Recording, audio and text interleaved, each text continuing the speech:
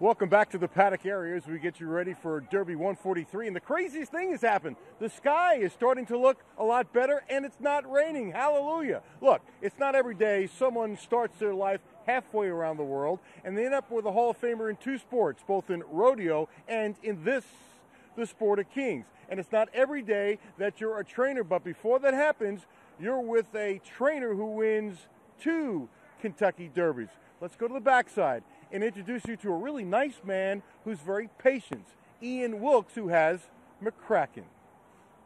Yeah, someone said that yesterday. The journey to America, the road to the Derby, wasn't something as a kid Ian Wilkes could see. Yeah, I grew up on a dairy farm, you know, of all things. How's that? You know, milking cows to a horse trainer. How's, how's that one? as a teenager, selling racing programs in Australia for five bucks a day, Wilkes got hooked. Australia's fun. You know, it's it, it's you know it's you'd love to be there. You know, you'd love to still be. It's great when you go home, but then but this is the life for us here now. You know, and I'm enjoying it here. But uh, fun down there, it's football, cricket, sport. Ian is now a citizen in two countries. Growing up in Australia, he always wanted to come to America and work in the industry. He had a friend who worked for Carl Nafzger. He called and got a job. He was with Carl when Carl won both of his derbies, and believe it or not, they still talk every day. I better, you know, show him how it's done, hey? McCraken is still fourth. McCraken was undefeated going into the Toyota Bluegrass Stakes. Coming off a long layoff due to an ankle problem, McCraken didn't fire in the stretch, finishing fourth. With the win, he'd be the favorite for the Derby, with the media all over Barn 26.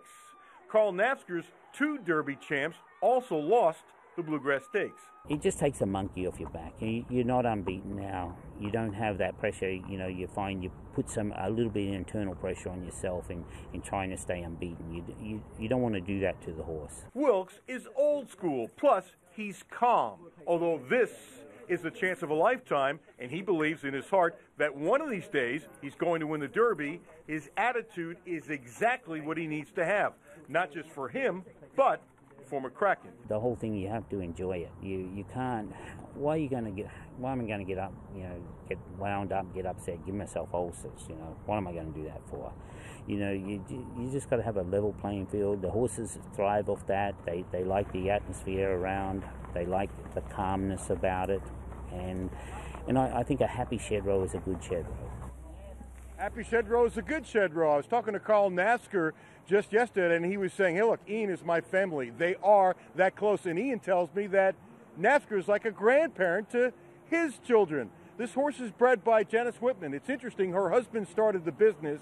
She's in her 80s. She's from a tiny town in Kansas, and they breed like eight or ten horses a year. That's it. And they've already won the Breeders' Cup Classic, and now they're in the Derby. It's a lovely family. And Haley and Chris, I'm telling you, if you got to know these people, you'd say, they're just really nice folks, and they have to be running in the first Saturday in May. Back to you. Of course, Alan. Thank you. When I tell you I could listen to that to Ian's accent all day long, I'm like, can we keep that package going? That accent, oh, love Very it. Very nice to hear. Plus, you can hear the passion in his voice, just how much he loves doing what he does. So That's awesome, right. Alan. Great story. Thank you very much. And every year.